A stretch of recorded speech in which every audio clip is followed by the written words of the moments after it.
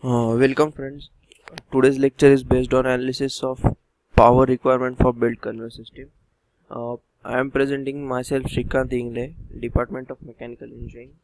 Uh, basically this lecture is based on the different types of belt conveyor and their power requirement for design concept of this power requirements. So we'll go through the slides.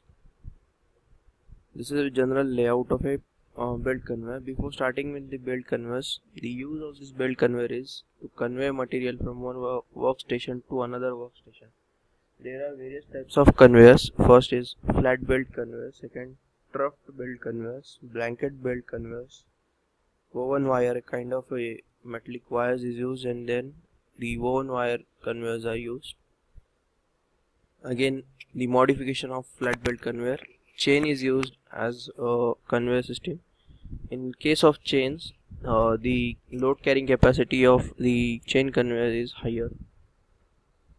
Again screw conveyors are also used to convey the uh, bulk material by using the screw mechanism. Here we can see uh, there's different types of pulleys are here. This is a generalized uh, general layout of belt conveyor system. This one is a drive pulley. This is driven pulley. Drive pulley is again named as a head pulley and driven is called tail pulley. This is a hopper or feeding mechanism uh, to supply the intake material. These are some snub pulleys. This and let us say this is a p1 p2 p3 p4 so these are the snub pulleys. Purpose of this pulleys is to uh, provide the direction to the belt this is a belt cleaner. The use of this belt cleaner is to clean the belt after discharging the material. This we can see this small pulleys over here. Those are carrying run idlers. Purpose of this idler is to support the belt whenever the uh, belt is carrying the material. We can find the number of carrying run idlers are more than the return run idlers. Uh, return run idlers are used to support the belt which is moving idly on the pulleys. So the number of ca carrying run idlers are always more than the number of return run idlers.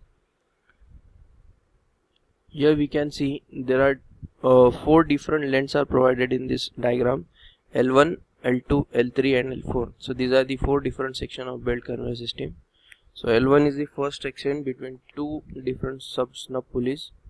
L2 is in between these two different snub pulleys. L, uh, likewise, after tail pulley, the section is L3, and after this snub pulley, the section up to head pulley, it is a section 4.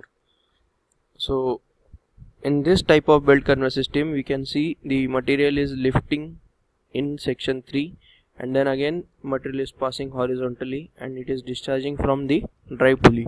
The drive pulley is rotating in a anti-clockwise manner.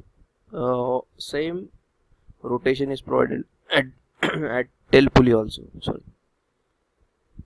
So before going to the analysis there are number of uh, frictional forces uh, resistant resistive forces uh, which which we have to consider uh, while designing a belt conveyor system. So we'll go one by one. Very first one is the load resistance due to lifting of material. So load resistance whenever the material is lifting we can see at section 3 the material is lifting upside. So whenever the material is lifting at upside there are two different components we have to consider. First one is along the uh, belt and second one is the perpendicular to the belt. So second uh, perpendicular to belt if we take two components so for perpendicular we'll get the wm means the you know, weight of material and cos alpha is the uh, perpendicular uh, component. Again second one is the component along the belt that is horizontal component. So we can take it as a wm into sine alpha. Again we'll solve this we'll get mm into lg sine alpha.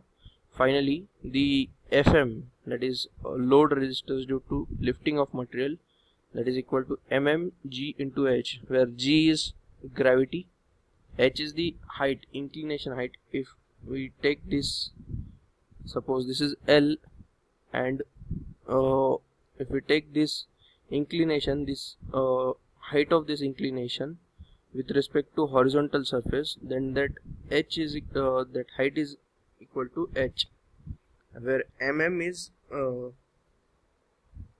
mass of material mass of material uh, carried by conveyor per unit length. So unit of this mm is kg per meter or kg per mm. Second force is frictional resistance due to idlers. As i have told you that belt conveyors have basically two major type of idlers. First one is carrying run idler second is return run idler. Purpose of carrying run idler is to handle material. That's why you can see the formula FCR FCR stands for the frictional resistance offered by the carrying run idler.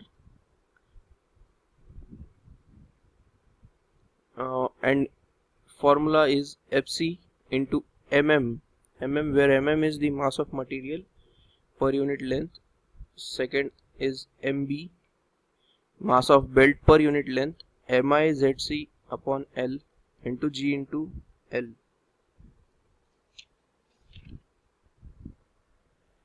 So in case of carrying run idlers mm is to be considered because mm uh, uh, in carrying run idler carrying run idlers handle materials. That's why we have to consider mm mb is the mass of belt per unit length where mi is the mass of each idler that we have to consider and unit for the mass of each idler is kg zc is the number of carrying run idlers where l is the length of that certain section and g is for gravity. So as we are seeing this earlier equation it was having mmgh so it is very much similar or it is equal to the potential energy as we are lifting material upside down uh, from downside up. The second force is uh, frictional resistance due to return run idler that is FRR return run for return run idlers. So in return run idlers we can see one difference here. That is mm is uh, eliminated as the material is discharged from drive pulley. So only mb plus mi zr upon l into g into lr so zr stands for the number of return run idlers where lr is the length of return run uh, return run section. Next force is frictional resistance at pulley. Frictional resistance at pulley. This we have to consider for individual pulley including drive and snub pulley also. If there is some take up pulleys then that point we have to consider at that point also. So this is fp for that certain pulley epsilon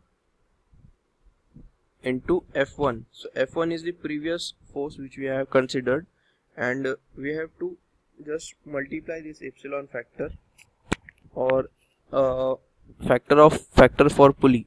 Epsilon stands for factor for pulley or we can say it is the angle of lap or snub factor simply snub factor. So various values of this epsilon is given. If epsilon uh, theta is less than 90 then the epsilon values ranges from 0.02 to 0.03 if it is in between 90 or 90 to 180 then the value is 0.03 to 0.04 and above 180 the value is 0.05 to 0.06 so this is a snub factor which we have to consider for pulleys next force is resistance at loading station. Resistance at loading station we can say it is fl for uh, loading force. Uh, so fl is given by capital m into v minus vi where m is the mass of material which is uh, carried over the belt. So where v is the belt speed and vi is the component incoming material velocity along the belt line. That means the material which is being intro introduced on the belt uh, from hopper or feeder mechanism. So difference of these two velocities are considered. If uh, these values are given in problem then then it should be considered. Otherwise only belt speed is considered and vi is considered as zero. If both the values are given then that case we have to consider this load. This is the optional type of a load. Fl fl means uh, the capacity of conveyor or mass flow rate simply a mass flow rate. We'll move to the next load that is frictional resistance at unloading station. Again same. Uh, this if these values are provided then that in that case we have to consider this unloading uh, load. Or some separate discharge mechanism is provided in that case we have to consider this load. So pu uh, fu is equal to 3.1 to 3.6 this is a range into mm mass of material per unit length into gravity g and b stands for the belt width. So this gives the formula for the friction uh, frictional resistance at unloading station fu last is uh, the frictional resistance at cleaning station. At, uh, as we have seen in the first diagram very first diagram one cleaner is provided uh, at the just after the drive pulley. Whenever the belt passes over drive pulley and discharges this material so the dirt and uh, dirt which is present and the uh, impurities or some particles present on the belt are swept out by using these cleaners. So in this case the KCL factor is considered that is cleaning factor is present uh, that we have to consider. Again this is uh, optional type of force which you have to consider. So if KCL factor is given then we can consider that value or we can simply take the uh, these values we can assume this value 30 to 50 for per type of cleaning device. Or we can consider this 2 to 6 VB for rotary brush.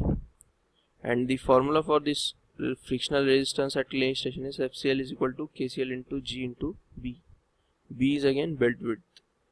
This is for the uh, number of return run idler and carrying run idler. So pitch if we want to calculate pitch and uh, number of idlers then tr is equal to lr is the that certain section upon zr plus 1 similarly for uh, carrying run idler tc is equal to lc upon zc plus 1 so this is summary for this complete presentation. These are the different values which uh, these are the various expressions which we have derived and various forces. So one by one i'll repeat. Load resistance due to lifting of load. This is equal to potential energy. Second is frictional resistance due to idlers. In this we have to consider for carrying run and return run idlers. Third one is frictional resistance at pulley in which we have to consider snub factor. Fourth frictional resistance at loading station in this which we are considering the belt speed and material speed. Again fifth one is frictional resistance at unloading station depending on the unloading mechanism. So the range is given 3.1 to 3.6 into mm gb and finally uh, cleaning uh, frictional resistance at cleaning station. Here we have to consider kcl there is one problem for the, your assessment. You can solve this problem try to solve this problem and determine these four standard values. Standard belt width reduction ratio of gear reducer number of carrying run and return run idlers. And you can select a standard belt width from this given range. Thank you